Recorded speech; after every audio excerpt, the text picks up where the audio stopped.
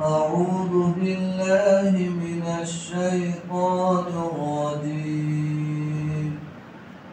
اللہ کی شیطان مردود سے بسم اللہ الرحمن الرحیم شروع کرتا ہوں اللہ کے نام سے جو سب پر مہربان نہایت رحم کرنے والا ہے۔ وَيْلٌ لِكُلِّ هُمَزَةٍ لُمَزَةٍ بڑی ہلاکتی ہے اس شخص کے لیے جو پیچھے غیبت بیان کرنے والا ہے اور سامنے تعال و تشمی کرنے والا ہے الذي جمع مالا وعدده یہ وہی شخص ہے جو مال کو جمع کر کے رکھتا ہے اور اس کو گین گین کرتا ہے۔ يحسب أن ماله أخلده قوي اس تتهيت السماء السهن شاكدة كلا لينبذن في ہرگیز نہیں ضرور بھی ضرور وہ چورا چورا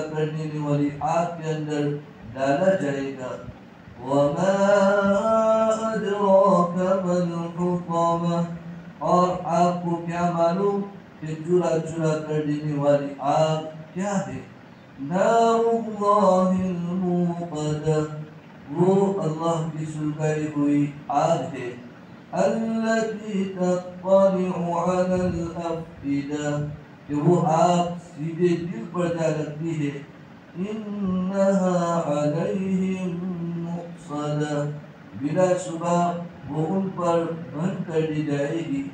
فی عمد ممددہ، وہ بڑے بڑے اور لمبے لمبے آگ کی ستونوں میں ہوں گے۔ اس سورہ کا نام سورہ ہمزہ ہے۔ اس سورہ کا نام سورہ ہمزہ رکھنے کی وجہ ہی ہے کہ پہلی آیت کے اندر لفظی ہمزہ آیا ہے۔ اسی کی مناسبت سے اس سورہ کا نام سورہ ہمزہ رکھا گیا ہے۔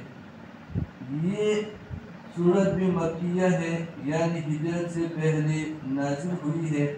تحریر اور ترتیب کے اعتبار سے ایک سو چار نمبر کی آیت صورت ہے اور نزول کے اعتبار سے بتیسویں نمبر کی صورت ہے۔ سورہ حمزہ کی نو آیتیں ہیں اور ایک رکو ہے۔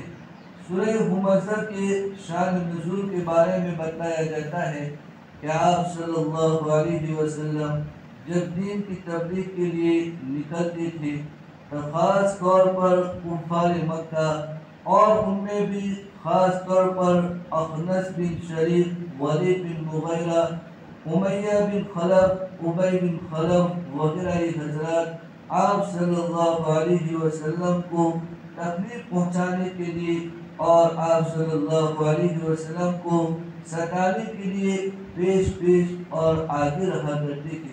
کبھی تو آپ صلی اللہ علیہ وسلم کی غیر موجودگی میں آپ صلی اللہ علیہ وسلم کو تکلیف پہنچانے کے لیے آپ صلی اللہ علیہ وسلم کو ستانے کے لیے پلاننگ بناتے تھے اور آپ کی غیر موجودگی میں آپ صلی اللہ علیہ وسلم کی برائی بیان کر کے، غیبت بیان کر کے لوگوں کو آپ صلی اللہ علیہ وسلم کے خلاف ورگلاتے تھے اور بعض مرتبہ ایسا ہوتا تھا کہ آپ صلی اللہ علیہ وسلم دین کی تبلیغ کے لیے جاتے تھے، لوگوں سے بات چیت کرتے ہوئے ہوتے تھے کہ یہ لوگ آتے اور آپ صلی اللہ علیہ وسلم کے سامنے ہی آپ صلی اللہ علیہ وسلم کی شان کرنا، گستاخی کرنے لگے۔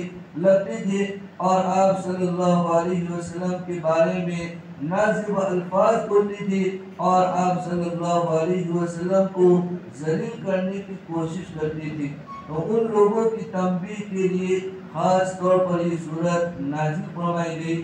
اس صورت کے اندر تین گناہ بیان کیے گئے ہیں اور اس کی سخت سزا بیان فرمائی گئی۔ پہلی آیت کے اندر اللہ رب العزت ارشاد فرماتے ہیں وَيْلٌ لِكُلِّ هُمَزَةٍ لُمَزَةٍ ہلاکت ہے اس شخص کے لیے جو غیر موجودگی میں غیبت کرنے والا ہے اور سامنے تعالیٰ دینے والا ہے۔ ہمزہ اور لمزہ، یہ دو الگ الگ لفظ ہیں۔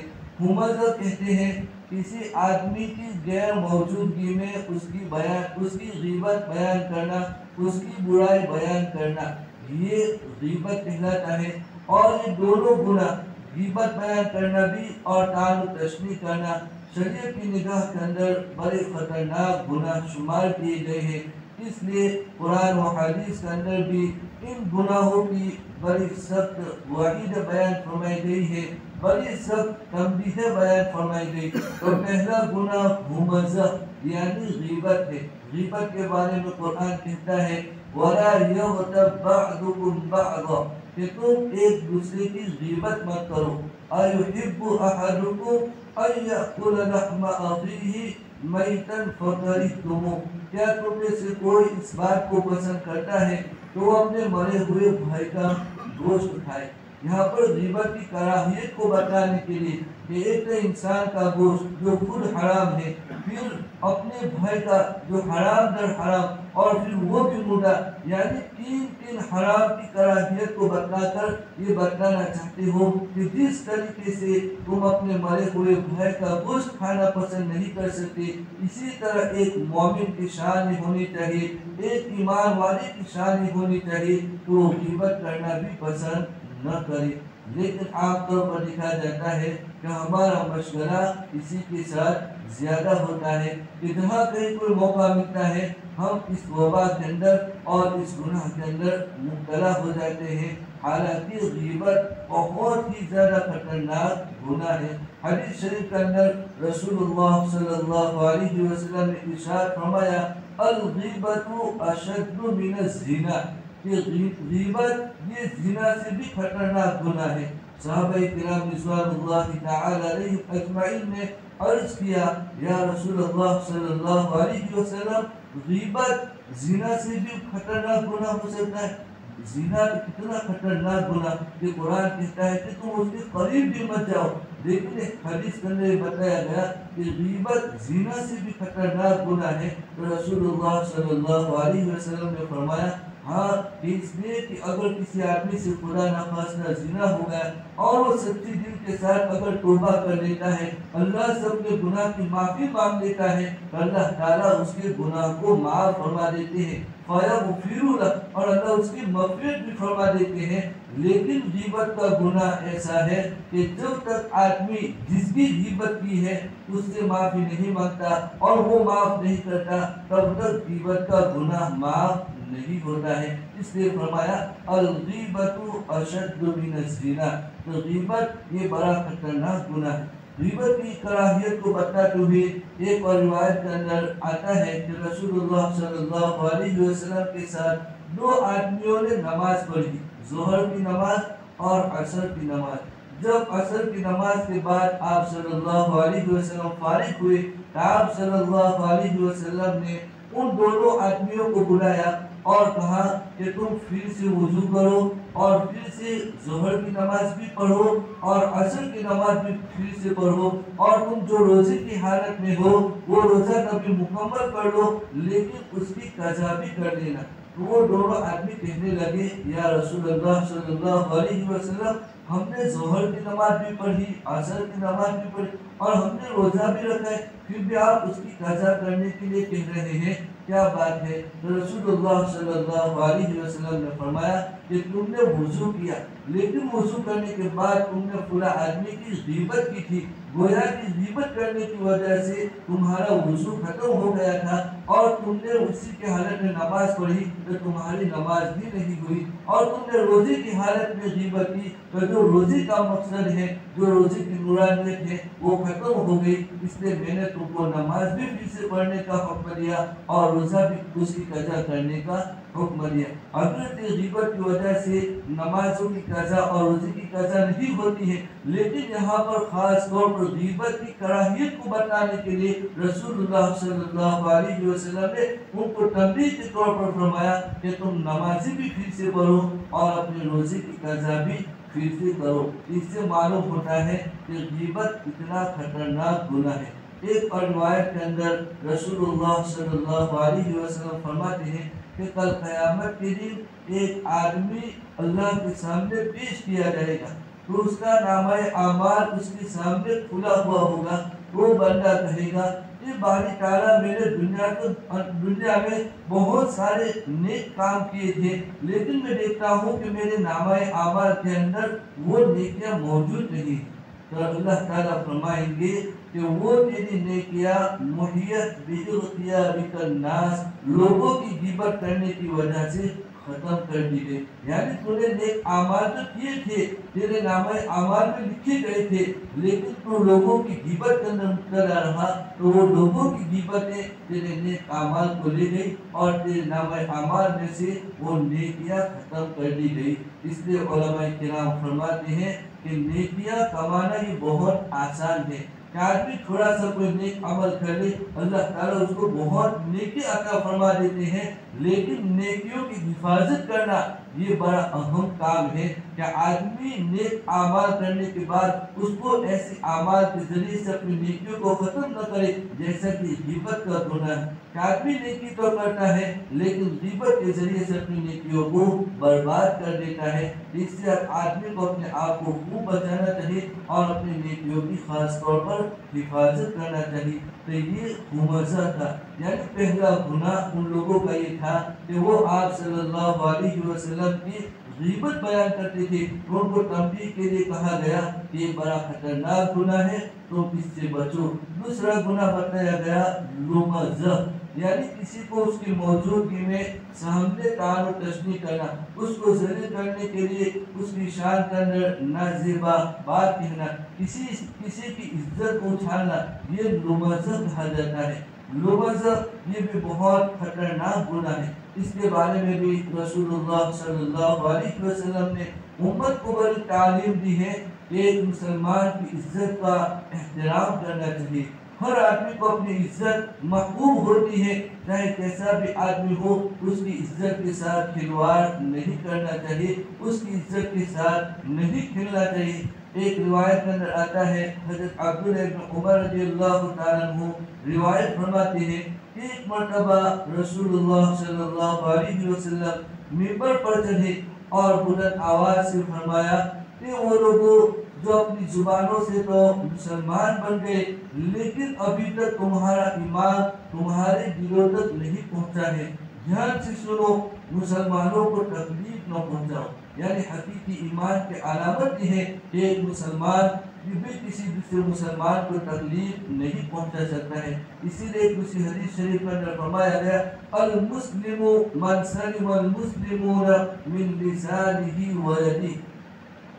کہ حقیقی اور کامل مسلمان وہ ہے جس کو جو اپنی زبان اور اپنے ہاتھ سے کسی دوسرے مسلمان کو تکلیف نہ پہنچائے، تو یہ حقیقی مسلمان ہونے کی علامت ہے۔ تو رسول اللہ صلی اللہ علیہ وسلم نے فرمایا کہ کسی مسلمان کو تکلیف نہ پہنچاؤ۔ دوسری چیز فرمائی اور کسی مسلمان کو آر نہ دلاؤ شرم نہ دلاؤ یعنی بعض مطلب ایسا ہوتا ہے کہ کسی آدمی سے انجانے میں جان کر کوئی گناہ ہو جاتا ہے۔ اگر اس گناہ کے بعد دوسری مرتبہ کسی آدمی کو موقع ملتا ہے، تو اس گناہ کے ذریعے سے اس آدمی کو آر نہیں دلانا چاہیے اس لیے کہ بعض مطلب ایسا ہوتا ہے کہ ایک مرتبہ آدمی سے گناہ ہو گیا، وہ آدمی اسے توبہ کر لیتا ہے۔ پھر اچھی زندگی گزارتا ہے، لیکن کوئی موقع ایسا آتا ہے کہ سامنے والا اس کو شرمندہ کرنے کے لیے اس گناہ کو یاد دلا کر کہتا ہے کہ تو تو وہی ہے جو پہلے زمانے کے اندر یہ کام کیا تھا۔ تو یہ آر دلانا کہلاتا ہے۔ اس لیے کہ اگر اس نے توبہ کر دی ہے، تو اس کے نام اعمال کے اندر سے وہ گناہ مٹا دیا گیا۔ اور گویا تو اس کو آر دلا کر اس پر تہمت لگا رہا ہے۔ یہ تہمت کا گناہ بھی تیرے نام اعمال کے اندر لکھا جائے گا۔ اس نے فرمایا کہ کسی کو کسی گناہ پر آر دلانا نہیں چاہیے اگر کسی سے کوئی گناہ ہوا ہے تو اس کا معاملہ ہے اور اس کے اللہ کا معاملہ ہے۔ ہو سکتا ہے بندے نے اپنے اللہ کے ساتھ اپنے معاملے کو صاف کر لیا ہو، لہذا کسی کو کسی گناہ پر آر دلانا، شرم دلانا، یہ شریعت میں اس کی اجازت نہیں ہے۔ بلکہ شریعت کے اندر اس بات کی خاص تنبیہ کی گئی، من ایر اخاہ بذنب لم یمن حتی یعملہ کبھی کسی بندے نے کسی بندے کو کسی گناہ پر آر دلائی، تو اس وقت اس کو موت نہیں آئے گی۔ جب تک وہ خود اس گناہ کے اندر مبتلا نہیں ہوگا یعنی جس گناہ کے ذریعے سے سامنے والے کو شرمندہ کیا گیا ہے آگ دلائی گئی ہے یہ اتنا خطرناک ہے کہ اللہ رب العزت مرنے سے پہلے خود اس کو اس گناہ کے اندر مبتلا فرما دیتے ہیں اس سے ہمیں بچنا چاہیے بڑا خطرناک گناہ ہے تو دوسری چیز رسول اللہ صلی اللہ علیہ وسلم نے فرمایا کسی کو آڑ نہ دلاؤ تیسری چیز فرمائی کہ کسی کے عیوب کے پیچھے نہ پڑو اس لیے کہ جب بندہ کسی مسلمان کے عیوب کے پیچھے پڑ جاتا ہے اللہ رب العزت اس بندے کے عیوب کے پیچھے پڑ جاتے ہیں اور جب اللہ کسی کے عیوب کے پیچھے پڑ جاتے ہیں تو اللہ تعالیٰ اس کو گھر بیٹھے رسوا اور ذلیل کر دیتے ہیں اس لیے اسلام کی تعلیم ہے کہ کسی کی عیبوں کے پیچھے نہیں پڑنا چاہیے بلکہ اگر کسی کے عیب ہمارے سامنے ظاہر ہو جاتی ہے، تو اس کی پردہ پوشی کرنے کی اسلام نے تعلیم دی ہے اور اس کی فضیلت بیان فرمائی، من ستر مسلمان ستر اللہ یوم القیامہ کہ جو آدمی کسی مسلمان کی پردہ پوشی کرتا ہے، اللہ رب العزت قل قیامت کے دن اس کی پردہ پوشی فرمائیں گے۔ لیکن آج ہمارا حال یہ ہے کہ ہمیں لوگوں کے عیوب کو اچھالنے کے اندر، لوگوں کی عزت کو اچھالنے کے اندر مزہ آتا ہے۔ تو ہمیں سوچنا چاہیے کہ یہ بڑا خطرناک گناہ ہے، جس کے بارے میں ہمازہ کہا گیا ہمازہ کہا گیا کہ خطرناک گناہ ہے اور اس کا بڑا سخت عذاب بتلایا گیا ہے۔ ہمیں اس سے اپنے آپ کو بچانا چاہیے۔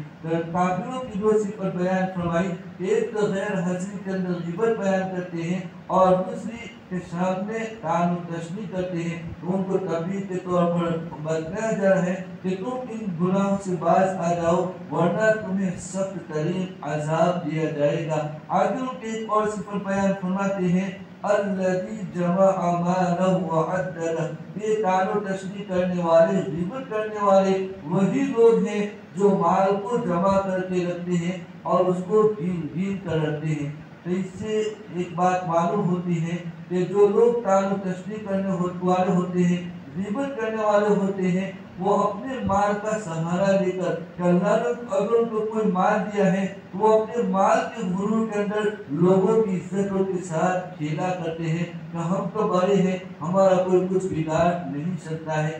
سے یہ بات معلوم ہوتی ہے کہ مال کا ملنا یہ کوئی فی نفسی ہی برا نہیں ہے۔ مال آدمی کے لیے نیکی کا ذریعہ بھی بن سکتا ہے، برائی کا ذریعہ بھی بن سکتا ہے۔ لیکن مال جب غلط کاموں کے اندر استعمال ہو، وہ وہ انسان کی بربادی کا ذریعہ ہوتا ہے۔ یہاں پر یہی بتایا جاتا ہے کہ وہ مال کو جمع کر کے رکھتے ہیں۔ یعنی اللہ تعالیٰ نے مال کے جو حقوق کے واجبہ بتائے ہیں مثال کے طور پر مال کی زکاة ادا کرنا، صدقات ادا کرنا، حقوق کے واجب ادا کرنا، یہ مال کی جو حقوق ہے وہ بھی ادا نہیں کرتے تو یہ مال کا جمع کرنا ان کے لیے وبال جان ہوگا۔ ورنہ جس آدمی کے پاس مال ہے، اللہ نے مال عطا فرمایا، وہ مالوں کی زکاة ادا کرتا ہے اور اللہ کے بتائے ہوئے طریقوں کے مطابق اور اللہ کے حکموں کے مطابق اپنے مال کو خرچ کرتا ہے۔ وہ نام آباد کے اندر نیکیوں کے ذخیرہ بننے کا بھی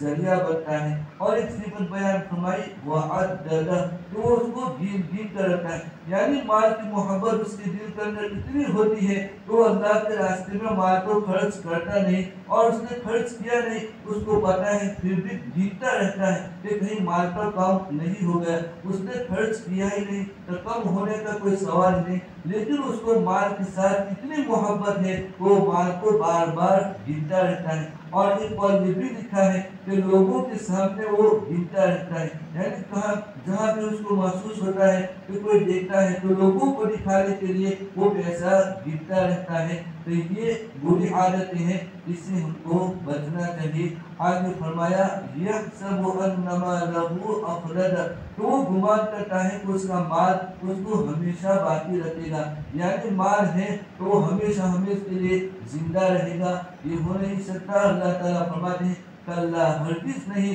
مال آنے جانی چیز ہے، اگر مال ختم بھی نہ ہوا تو اس کی موت سے وہ مال اس کے پاس سے چلا جائے گا۔ جیسے اس کی موت واقع ہوگی، وہ مال مولا وارثوں کے پاس چلا جائے گا۔ مال ہمیشہ رہنے والی چیز نہیں ہے۔ اگر اللہ نے مال دیا ہے تو مال کو حقوق کو ادا کرتے ہوئے اللہ کے راستے میں خرچ کرنے کی کوشش کرنا چاہیے، ورنہ جو لوگ مال کو خواہ مخواہ کے لیے بقیدے کے ساتھ جمع کرتے رہتے ہیں، وہ مال ان کے لیے ہلاکت کا سبب بنتا ہے۔ اللہ تعالیٰ اس کو آگے فرماتے ہیں کَلَّا لَيُنْبَذَنَّ فِي الْحُطَمَةِ کہ ہرگز نہیں، وہ ضرور بھی ضرور چورا چورا کر دینے والی آگ کے اندر ڈالے جائیں گی تو یہاں پر تین گناہ بیان کی گئے، پہلے ہمزہ یعنی غیبت بیان کرنا، دوسرا نمازہ یعنی کسی کے سامنے اس کو بھی عزت کرنا ذلیل کرنے کی کوشش کرنا، اور تیسرا مال کو جمع کر کے اس کو دین دین کر رکھنا۔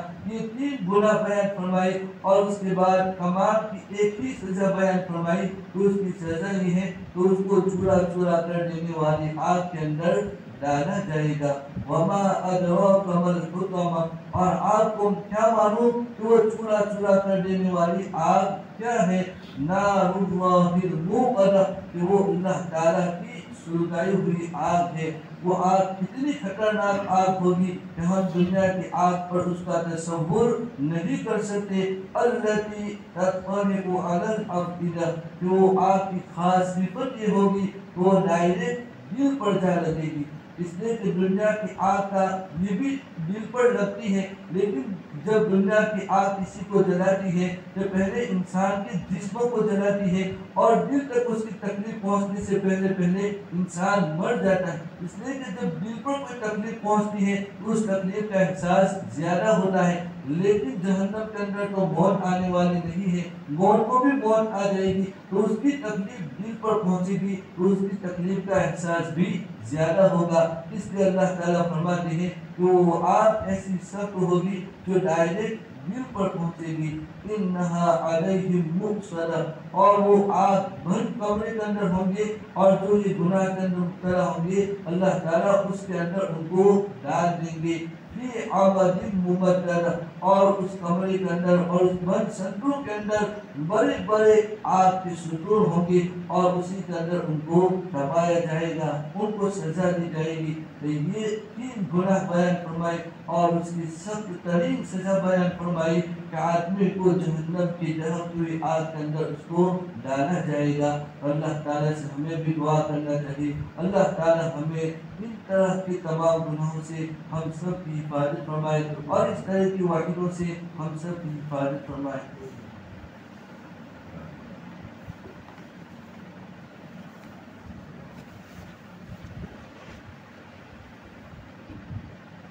بسم الله الرحمن الرحيم الحمد لله رب العالمين.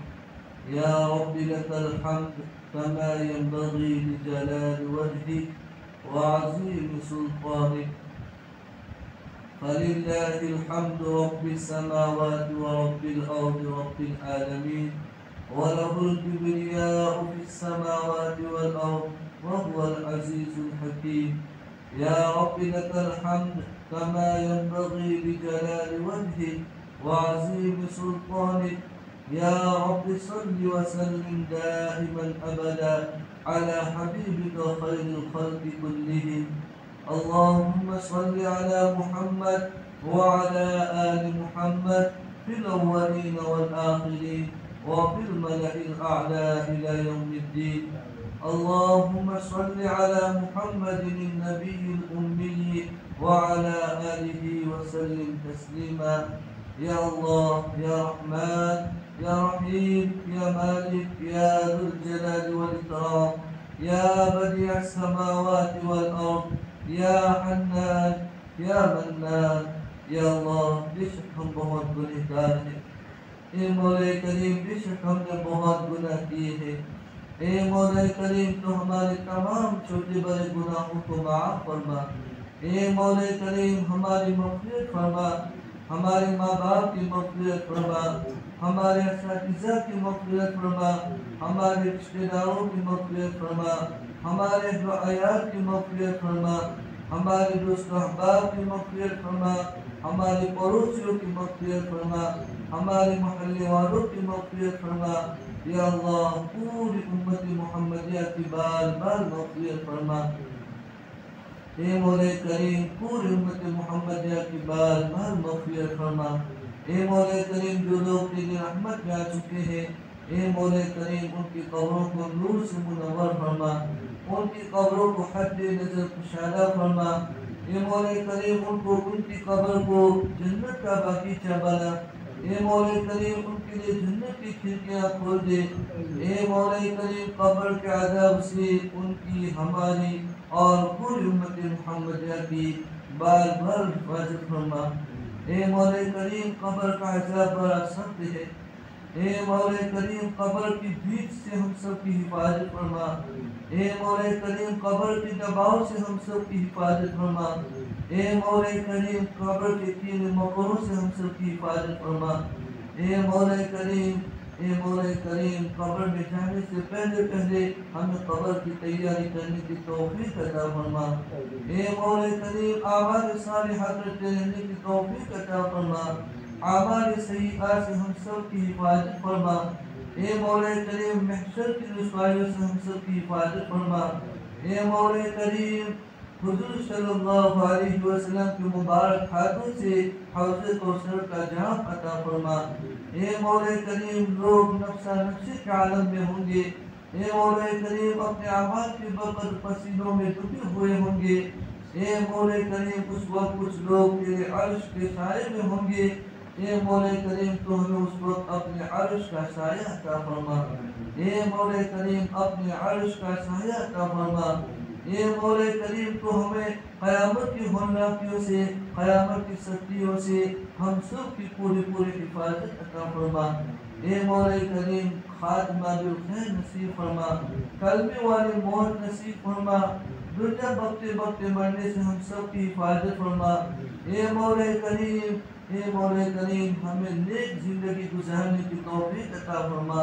اے مولا کریم، حدیث شریف کا اندر آتا ہے جو آدمی جیسی زندگی گزارتا ہے، ویسی اس کی موت آتی ہے۔ جیسی موت آتی ہے، اس کو ویسی قبر سے اٹھایا جاتا ہے۔ اے مولا کریم، تو ہمیں بھی نیک اعمال کے ساتھ زندگی گزارنے کی توفیق عطا فرما۔ اے مولا کریم، خاتمہ بالخیر نصیب فرما۔ اور تو ہمیں اپنے محبوب اور مقرر بندوں کے ساتھ ہمارا شمار عطا فرما۔ اے مولا کریم، نیک لوگوں میں ہمیں شامل فرما۔ تیرے مکرم اور مقرر بندوں میں ہمیں شامل فرما۔ اے مولا کریم، محض اپنے فضل و کرم سے ہم سب کی ساری خطاؤں کو معاف فرما کر اپنے نیک بندوں میں ہمیں شامل فرما لے۔ اے مولا کریم، تیرے محبوب بندوں میں ہمیں شامل فرما لے۔ اے مولا کریم، یقیناً گناہ کر کے کر ہم نے اپنے دلوں کو سیاہ کر دیا ہے۔ اے مولا کریم، تو ہمیں توبہ کے غسل سے ہمارے دلوں کو پاک اور صاف فرما دے۔ اے مولا کریم، ہمارے دلوں کو قرآن کی تلاوت سے منور فرما دے۔ اے مولا کریم، ایمان کے نور سے منور فرما دے۔ ایمان کی حلاوت عطا فرما۔ اے مولا کریم، قلب سلیم عطا فرما۔ اے مولا کریم، اے مولا کریم، تو ہمیں ایمان کے تقاضوں کے مطابق اعمال کرنے کی توفیق عطا فرما۔ اے مولا کریم، ہماری زبانوں میں سچائی عطا فرما دل و دماغ میں خیالات کی پاکیزگی عطا فرما۔ اے مولا کریم، ہمیں ایسا بنا دے کہ ہم سے کسی کو کوئی تکلیف نہ پہنچے۔ اے مولا کریم، تیرے خاص بندوں کی طرح ہمیں صفات سے نواز دے۔ اے مولا کریم، تیرے حبیب پاک صلی اللہ علیہ وسلم، دنیا کے اندر کتنی بھی تکلیفیں برداشت کی، لیکن کبھی کسی کے لیے زحمت کا ذریعہ نہیں بنے۔ اے مولا کریم تو ہمیں بھی ایسا نیک اعمال کا اخلاق والا بنا دے اے مولا کریم ہمیں بھی نیک سارے بنا دے اے مولا کریم تو ہم سے راضی ہو جا۔ ہمیں اپنے سے راضی بنا دے اے مولا کریم دلوں کی صفائی عطا فرما دے حسد، کینہ، بغض، عداوت سے ہم سب کی حفاظت فرما دے غرور، تکبر سے ہم سب کی حفاظت فرما۔ بغض اور عجب بینی سے ہم سب کی حفاظت فرما۔ دیانت کاری عطا فرما تقوی عطا فرما پرہیزگاری عطا فرما للہی عطا فرما یہ مولا کریم یہ دنیا کی زندگی بہت مختصر ہے اے مولا کب تک ہم اپنے دلوں کے اندر لوگوں کے بارے میں برائیاں لے کر گھومتے رہیں گے اے مولا کریم تو ہمارے دلوں کو صاف فرما دے اے مولا کریم تجھے وہ دل بڑا پسند ہے جو حسد کی بغض عداوت سے پاک ہو۔ اے مولا کریم، تو ہمارے دلوں کو پاک اور صاف فرما دے۔ اے مولا کریم، ہم سب کی دل تیرے قبضے قدرت میں ہے یا مصرف القلوب صرف قلوبنا علی طاعتک۔ اے مولا کریم، تو ہمارے دلوں کو تیری طاعت کی طرف پھیر دے۔ اے مولا کریم، تو ہمیں نیک اعمال کے لیے قبول فرما دے۔ اے مولا کریم نے مبارک مہینہ تو نے عطا فرمایا۔ یقیناً تیری توفیق سے یا اللہ بہت سے نیک عمل ہوئے ہیں۔ اے مولا کریم، جو کبھی کوتاہی رہ گئی ہو، اے مولا کریم، محض اپنے فضل و کرم سے معاف فرما اور ہمارے اعمال صالحہ کو قبول فرما۔ اے مولا کریم، رمضان المبارک کے بعد بھی ان اعمال پر جمع رہنے کی توفیق عطا فرما۔ اے مولا کریم، قرآن کی تلاوتوں کا اہتمام کرتے رہنے کی توفیق عطا فرما۔ دعاؤں کا اہتمام کرتے رہنے کی توفیق عطا فرما۔ اے مولا کریم، زندگی کا آخری سانس تک ہمیں تو تیرے احکام کے مطابق رسول اللہ صلی اللہ علیہ وسلم کے طریقوں کے مطابق زندگی گزارنے کی توفیق عطا فرما۔ اے مولا کریم، رمضان المبارک کے فیض و برکات سے مالا مال فرما۔ لیلت القدر کی فیض و برکات سے مالا مال فرما۔ اے مولا کریم اس مبارک لمحات اور اس مبارک دنیا ہمیں زندگی کے اندر بار بار نصیب فرما۔ اے مولا کریم جو کمی کو کہیں رہ گئی ہو اے مولا کریم محض اپنے فضل و کرم سے معاف فرما۔ اے مولا کریم تو ہمیں محروم نہ فرما۔ یا اللہ، یقیناً جو ایسے مہینے کے اندر بھی محروم رہ گیا، اس سے بڑا محروم کوئی نہیں ہے۔ اے مولا کریم تو ہمیں اپنے فضل و کرم سے نواز دے۔ ہماری دعاؤں کو محض اپنے فتو قلم سے رسول اللہ صلی اللہ علیہ وسلم کے سچے تو میں بزرگان دین اور یہ کے سچے تو میں قبول فرما جو مانگا وہ بھی عطا فرما جو مانگنے سے لے گیا اپنی شاہ نشان عطا فرما۔ جز اللہ عنا سیدنا و مولانا محمد و بارک وسلم وصلى الله تعالى على خير خلقه ونور